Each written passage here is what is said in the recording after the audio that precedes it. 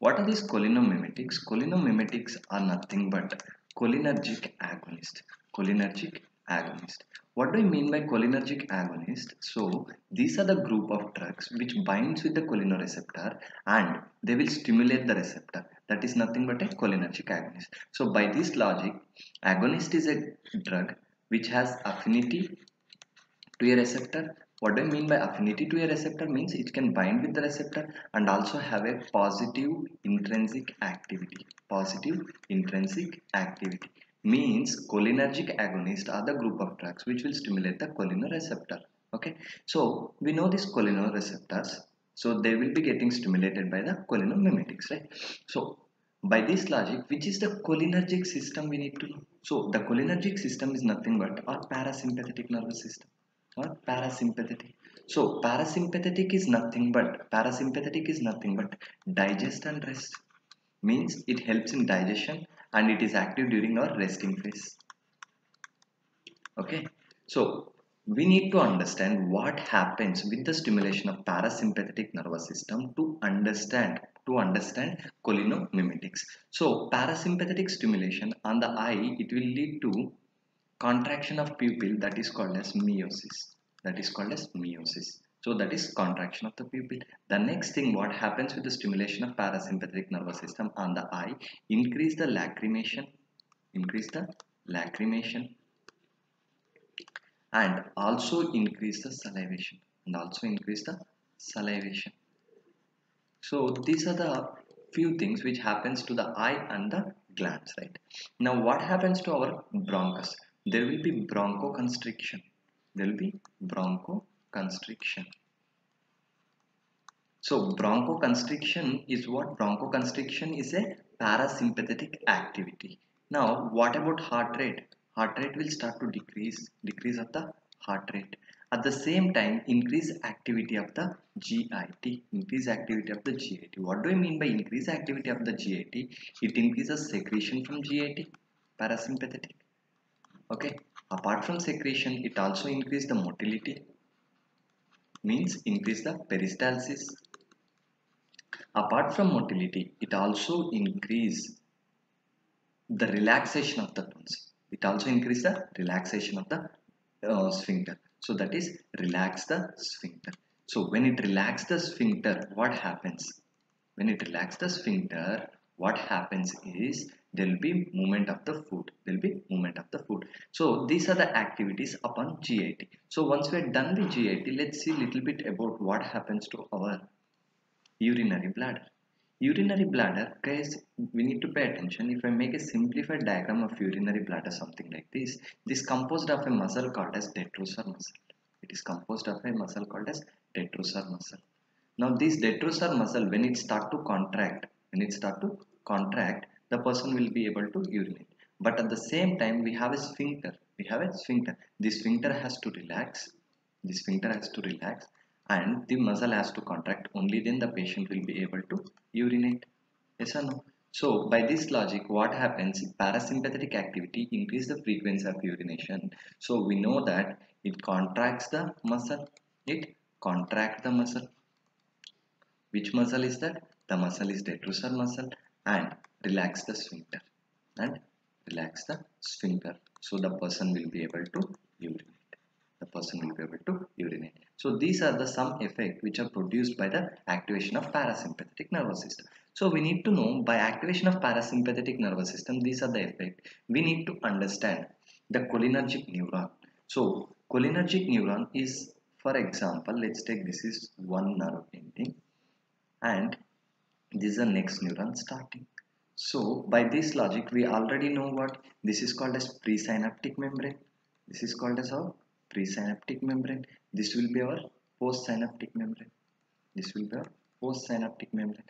Now what happens? We have a molecule called as choline. We have a molecule called as choline. This choline will be taken up by the neuron. This choline will be taken up by the neuron along with some sodium along with some sodium.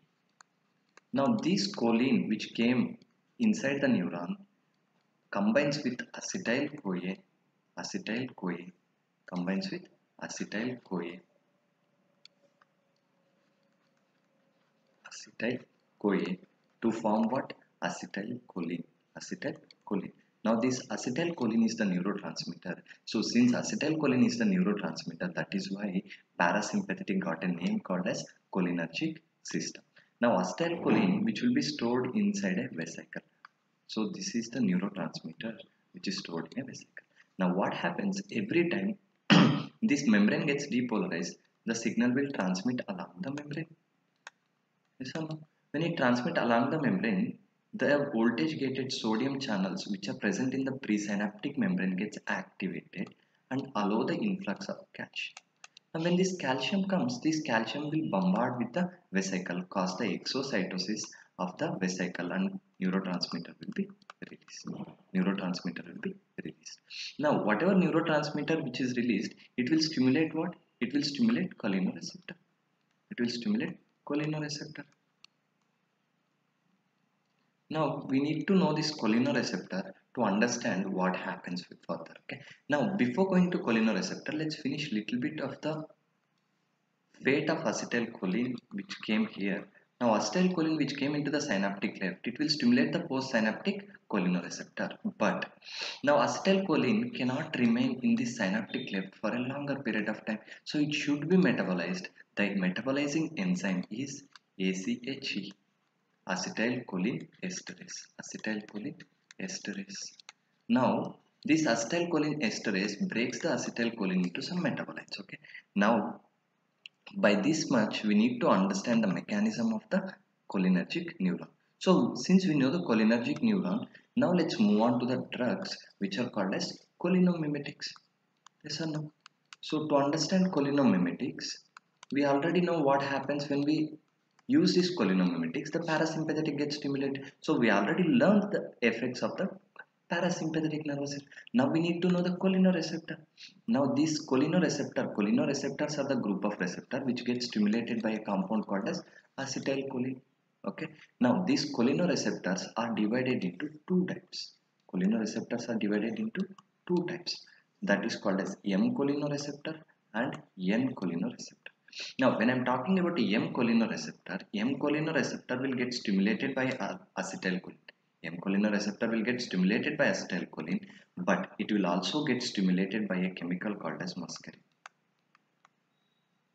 Now, this muscarine is a poisonous compound which is present in some mushrooms. Okay. Now, acetylcholine, M cholinereceptor will get stimulated by two substances. One of them is acetylcholine, the second one of them is muscarine.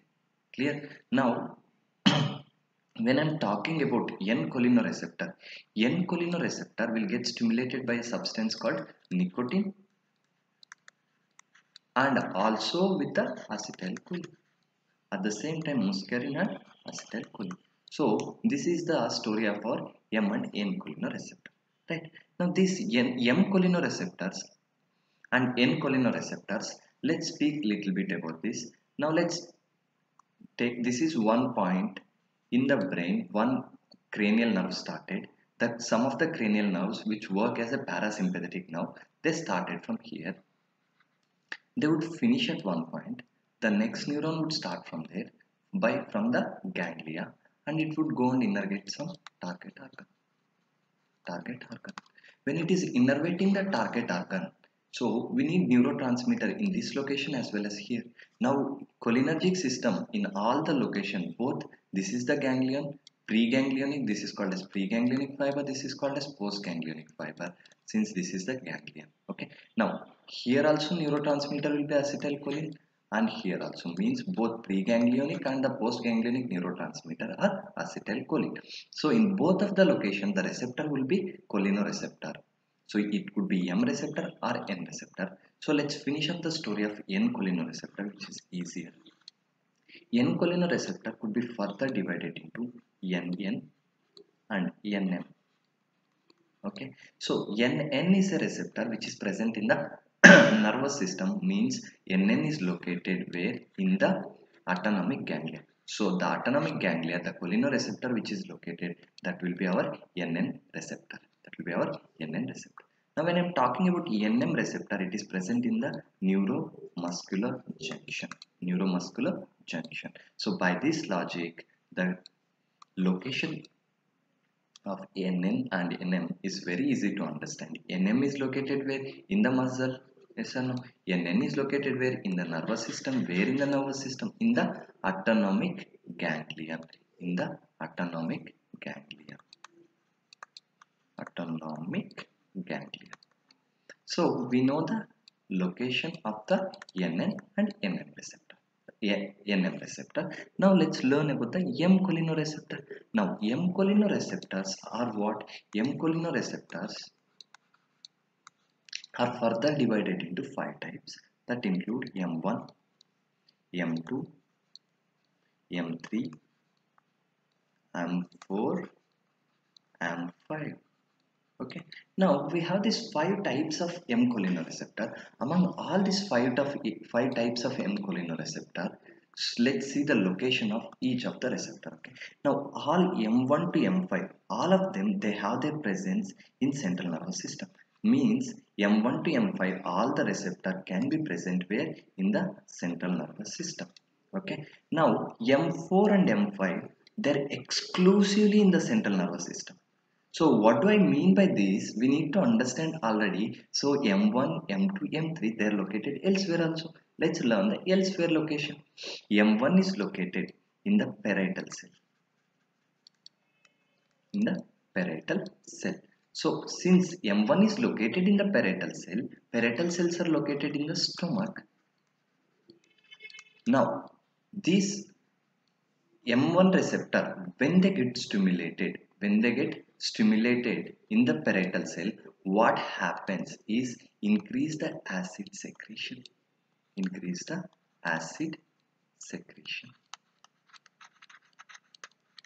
increase the acid secretion. So by this logic, we already know M cholinesterase work for which nervous system? M cholinesterase works for our parasympathetic nervous system. Yes or no? Since it is working for parasympathetic nervous system, we already know the parasympathetic effect on the stomach will be increase of the acid. Parasympathetic effect on the stomach would be increasing of the stomach acid. Right. Now, let's go and learn about M2 receptor. M2 receptor is located on the heart. M2 receptor is located on the heart as well as on some glands. Some glands. Okay. Now, by this logic, we should be able to understand what happens when I stimulate M2 receptor. Now, what happens when I stimulate M2 receptor? What is the parasympathetic activity on the heart? Parasympathetic activity on the heart is decrease of heart rate. Decrease of heart rate. But why I am telling parasympathetic activity will be mediated by M2? Because it is a receptors of the cholinergic system. Cholinergic activity on the heart will be what? Decrease of the heart rate. Now, heart rate will be decreased. At the same time, secretions from the gland increase. Secretion from the glands will be increased. Okay. Now, M3, so we already know these two locations. Rest everywhere, elsewhere. Elsewhere, what do I mean by elsewhere? That might include bladder, that might include a bowel, which means intestine, that might include the any other parts where it requires the parasympathetic activity. So one of the most important locations which I'd like to talk about M3 receptor location is in the bronchus. One of the most important I'd like to talk is in the bronchus. Now guys M3 receptor is located in the bronchus. What happens if I stimulate M3 receptor? That will be bronchoconstriction. That will be bronchoconstriction that will be bronchoconstriction. At the same time, if I block M3 receptor, if I block M3 receptor, that will lead to bronchodilation. Bronchodilation. So by this logic, if I have a patient with bronchial asthma, I should block the M3 receptor to have a bronchodilation to treat that person. So M3 blockers could be used in bronchial asthma. At the same time, cholinergic, the drugs which stimulate the M3 receptor will cause the bronchoconstriction, means which should not, which should be avoided in the patients with a bronchial asthma. Which should be avoided in the patient with a bronchial asthma, which can stimulate the M3 receptor. Clear? So this is the story of our receptors, right? So once we're done with the story of our receptors, let's go and learn about the drugs okay. Now when i'm talking about the drugs all the cholinomimetic drugs are nothing but cholinergic agonist. Cholinergic agonist. So one of the thing i want to talk about the agonist in this point is see guys for example i have a receptor. I have a drug which is agonist. I have a drug which is agonist. I have a drug which is antagonist. Now what i want you to understand here is both agonist and antagonist have an affinity to the receptor. Have a affinity to the receptor. Means they can bind to the receptor but agonist will have something called plus one intrinsic activity. Antagonist will have something called zero intrinsic activity. So antagonist is a drug which block the receptor but still it binds to the receptor. Agonist is a drug which stimulates the receptor with a plus one intrinsic activity. Okay? Now since our topic is cholinergic agonist which stimulate the cholinereceptor, let's learn about these things, right? So cholinergic agonists are divided into two types. One of them is called as direct acting, direct acting, and the other group are called as indirect acting. So the word itself is very clear. The mechanism of action of direct acting is directly working over the receptor. There is some indirect mechanism which will stimulate the cholinereceptor. Let's see what it is all about. Okay. So when I'm talking about direct and indirect activity, so direct acting drugs in a simple language if i need to narrate this if i consider this as one cholinereceptor this direct acting drug would directly come bind with this receptor and will have a plus one intrinsic activity okay when i'm talking about indirect indirect acting will do some or the other activity which will increase the acetylcholine and cause the cholinomimetic activity now when i'm talking about direct acting drugs we have some drugs such as one of the most important substance prototype would be acetylcholine. Acetylcholine is a direct acting substance. Apart from this, there will be something called pilocarpine. There will be something called as pilocarpine. We have a drug called as carbachol. Carbachol. We have a drug called as bethanechol. We have a drug called as bethanechol. Okay. We have a drug called as methacholine. Methacholine. Now, all these drugs are the direct acting ones. All of them are the direct acting ones. Now, each of these drugs, first let's finish the direct acting drugs and we will come to the indirect ones. So, we'll come back to this indirect. Now, when I'm talking about pilocarpine, guys, in the starting I mentioned, you remember something M receptor and N receptor. Now, for example, if I'm talking about a cholinomimetic, if I'm talking a cholinomimetic means it will stimulate the cholinergic receptor. It might stimulate M receptor or N receptor. Okay. Or I can have a drug which will stimulate both of these receptor. Yes or no?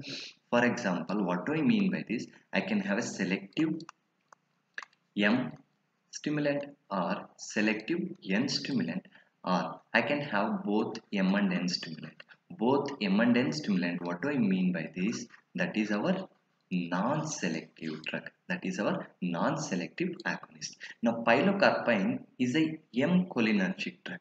M agonist means it will stimulate majorly M cholinoreceptor. It will stimulate majorly M cholinoreceptor. So if it is stimulating majorly M cholinoreceptor, what happens with the use of M cholinergic agonist that is our pilocarpine? Just pay attention guys.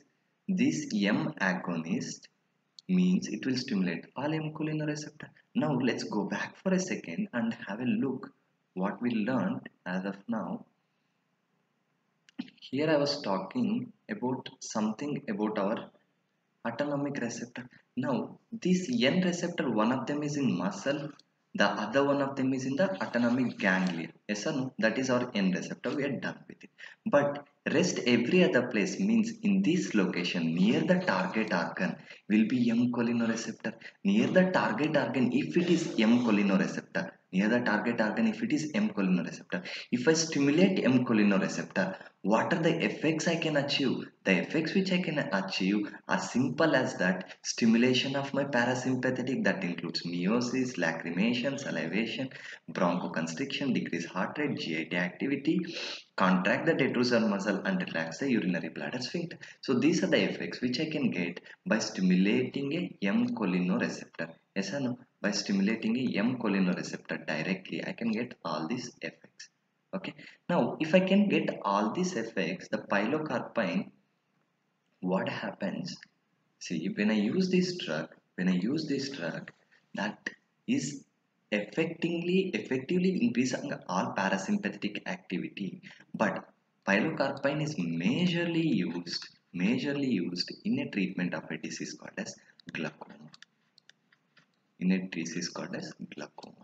Okay? Now what happens in glaucoma? There is a elevation of the intraocular pressure due to this pilocarpine which changes the pupil size which allows the flow of the fluid which helps in decrease of the intraocular pressure. We use it in the treatment of glaucoma. Apart from glaucoma it was also increasing its salivation. It was also increasing the lacrimation. I can use it in the treatment. I can use it in the treatment of xerophthalmia xerophthalmia at the same time i can also use this in a treatment called as xerostomia. Now what are these xerostomia and xerophthalmia these are the two conditions in which there is a xerophthalmia xerophthalmia means there is a dryness in the eyes by using pilocarpine which will stimulate our parasympathetic nervous system and increase the secretion. So i can use it in the treatment of xerophthalmia as well as the xerostomia. Xerophthalmia is nothing but dry eyes. Xerostomia is nothing but dry mouth. In both of these conditions are associated with some connective tissue disorder called as Sjogren's syndrome. Okay. Now, when I'm talking about carbachol and bethanechol, let's start with the carbachol. Now, carbachol is a type of drug which have a effect to stimulate both M and N cholinesterase. M and N cholinesterase. Now, since it is stimulating the M and N cholinesterase both, it will stimulate the systemic parasympathetic activity.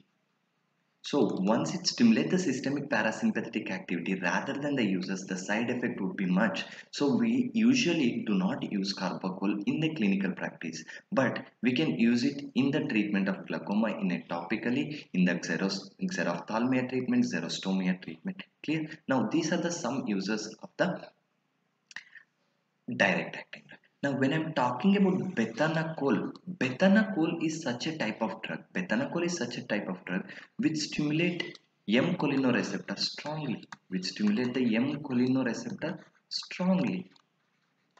While it also stimulates the N cholinesterase, but it is most selective to the M cholinesterase. Now, when I stimulate the M cholinesterase, guys, I want you to pay attention. First thing, M cholinesterase, what happens if I stimulate? If I stimulate, it will increase the motility of the GIT. We already know it. It will increase the motility of the GIT. It will also increase the urinary bladder tone, means can't increase the tone of the urinary bladder muscle. That is our detrusor muscle. And relax the sphincter. Once it relax the sphincter, once it relax the sphincter, the person will be able to urinate. So by this logic, our bethanechol does both of this, right? Now let's see the uses for the bethanechol. Where can we use? So once it is increasing the motility and the tone of urinary bladder, so these are the some effect, but I agree with all other effect, but I'm focusing on these two things. By this one, we can use them in the treatment of, for example, atonia of the bladder. Atonia of the bladder.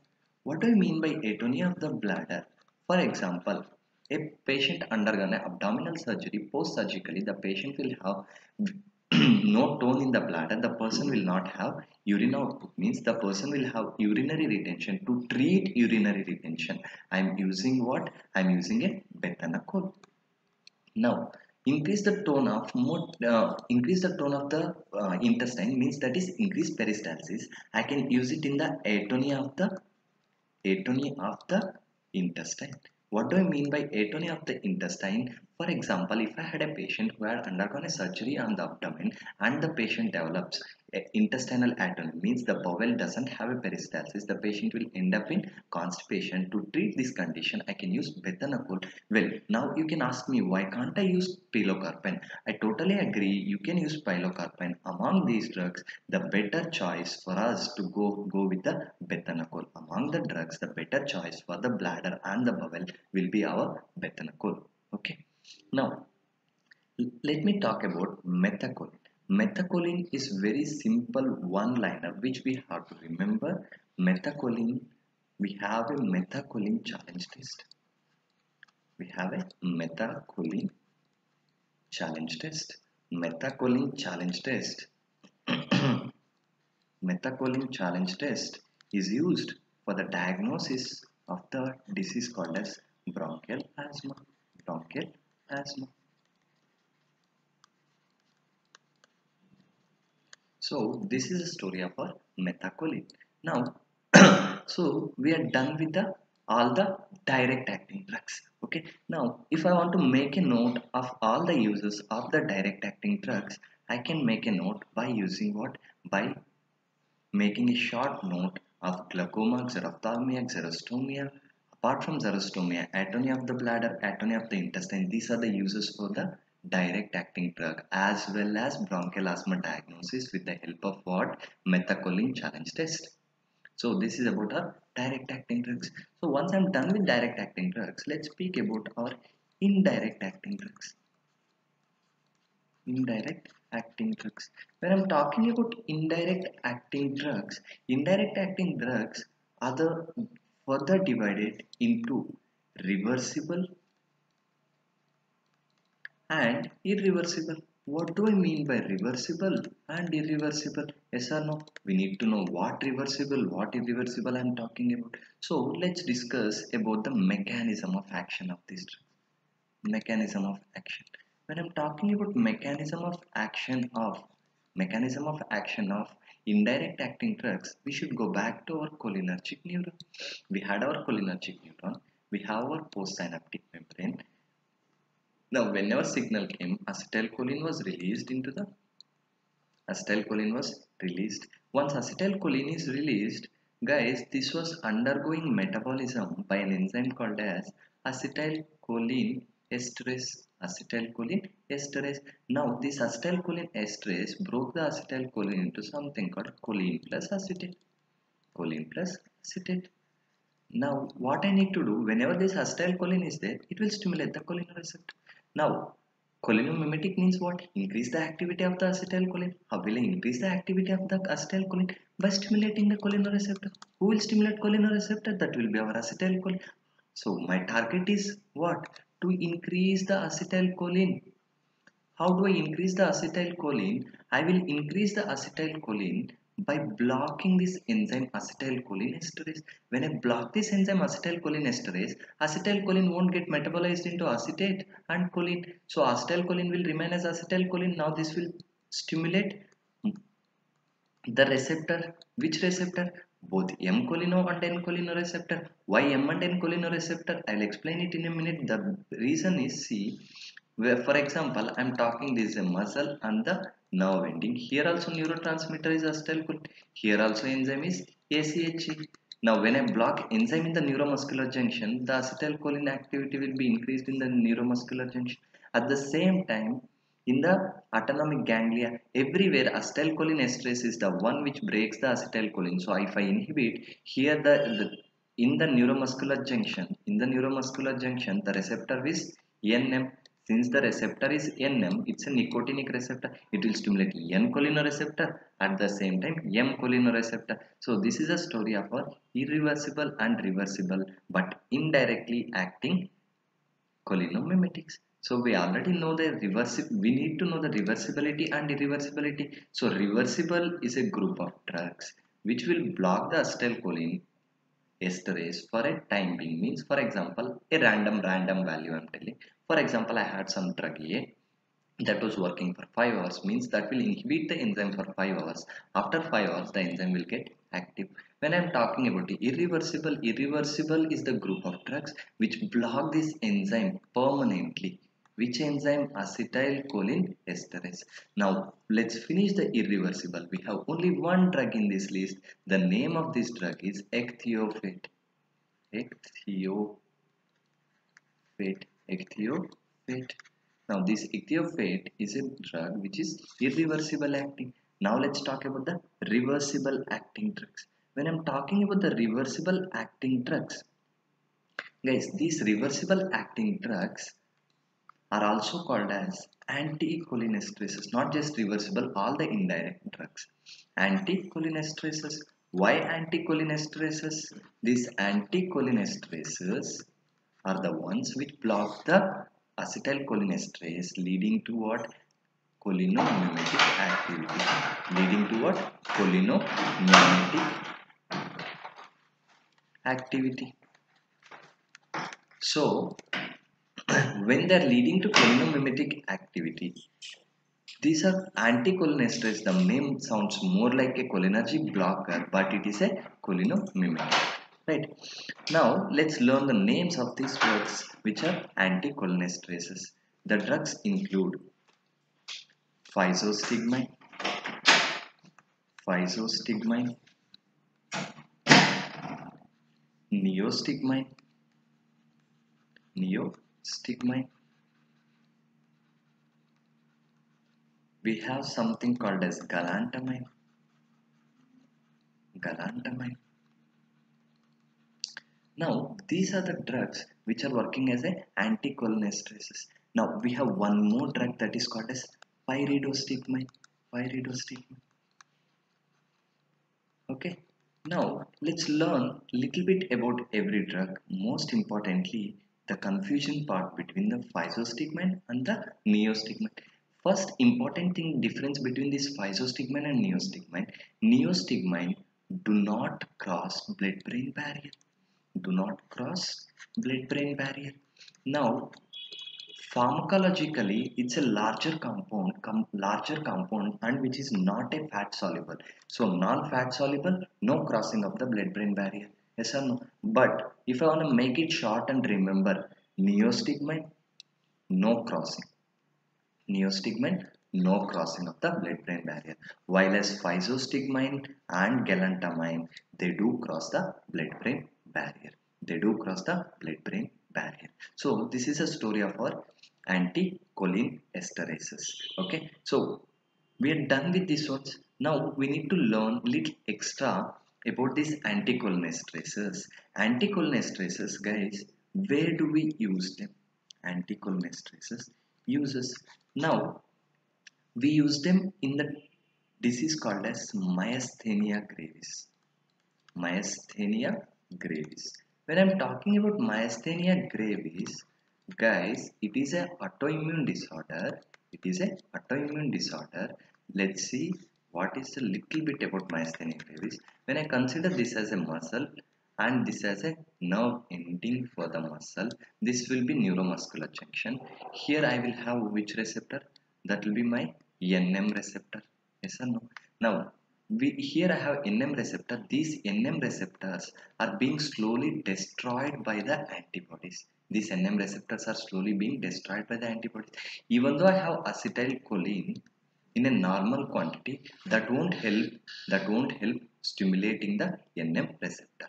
Okay? Now what I need to do if I increase the acetylcholine in the neuromuscular junction there is a possibility for stimulation of the NM receptor. The only reason is since it is an autoimmune disease there is no absolute destruction there is a destruction which is ongoing but there are some receptor which are left for stimulation so what I can do is by increasing the acetylcholine, I can try stimulating the NM receptor. If I don't stimulate, no NM stimulation, no contraction of the muscle, the patient will be having a weakness. Yes or no? So myasthenia gravis, so the drug, the best used drug for the treatment of myasthenia gravis, that will be our pyridostigmine. That will be our pyridostigmine.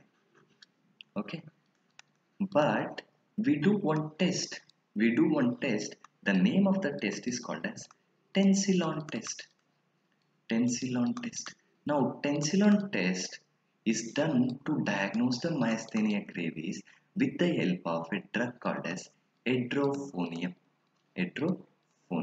What is this edrophonium? Guys, edrophonium is again an anticholinesterase drug, but it is a short acting for about approximately 15 to 20 minutes. Okay, now what happens?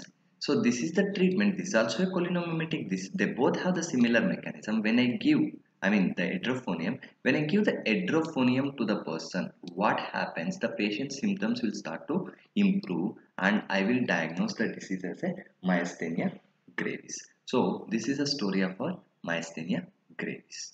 So let's go further. Where else we use them? Now I can use this drug in the treatment of atropine poisoning. Atropine poisoning atropine poisoning. The atropine poisoning treatment, the drug of choice will be physostigmine. Physostigmine. Why physostigmine? There is a reason behind physostigmine. Why not neostigmine? Because atropine is a drug which cross the blood-brain barrier. At the same time, physostigmine is also a drug which cross the blood-brain barrier. Once they both can cross the blood-brain barrier, now when I have atropine toxicity, the central nervous system symptoms will be treated only with the help of physostigmine. Okay. Now, this is a story of our cholinomimetics. I want our attention to be given to a disease called as Alzheimer disease. Alzheimer disease. Now, there are few drugs which are specifically used in the treatment of Alzheimer disease. Now, Alzheimer disease is considered to be decrease of the neurotransmitter acetylcholine in central nervous system. Okay, since in the treatment of uh, Alzheimer disease, we use some drugs. We use some drugs. The name of the drugs include tacrine, tacrine, rivastigmine, rivastigmine, we have one more drug called as donepezil. Donepezil we can use galantamine. We can use galantamine. Now among all these drugs tacrine is hepatotoxic. So we stopped using tacrine. Now among all these drugs with less side effects and the better effect the drug used as a drug of choice in the alzheimer's will be our donepezil donepezil is a drug of choice for alzheimer's disease even though we can use rivastigmine or galantamine but the best drug would be donepezil this is a story of our anti-Alzheimer drugs as. So we are done with the users. Now I want to simplify the side effects. Side effects and contraindications of all the side effect and contraindication of all the cholinomimetics. Now, what would be the side effect? The patient can when I have an excessive use of this drug, the patient can have miosis, right? Contraction of pupil. So, side effect due to this miosis, the patient might develop vision disturbance. Vision disturbance. Okay. Now, apart from that, the patient will have bradycardia. Now, what would be the contraindication? If the patient has bradycardia? it will make the condition worse. Do not give these drugs. Do not give this drug they will increase the GI motility. If they increase the peristalsis peristalsis the patient can have side effect diarrhea. It should be avoided with diarrhea. The patient can develop bronchoconstriction because of bronchoconstriction so side effect would be bronchoconstriction where I should not use it in the disease of a patient who is having asthma. Asthma. Okay. So these are the some important side effect and contraindications about our our this cholinomimetics. But I want you people to understand one simple logic. Guys, it's a parasympathetic nervous system if I stimulate parasympathetic nervous system, I will get a effect of parasympathetic. If I do excessive stimulation, that would be a side effect. If the patient is already having this condition, so don't use this drug. So this is our, our side effect and these things would be answered in an exam and handled in a clinical case. So this is a story of our cholinomimetics.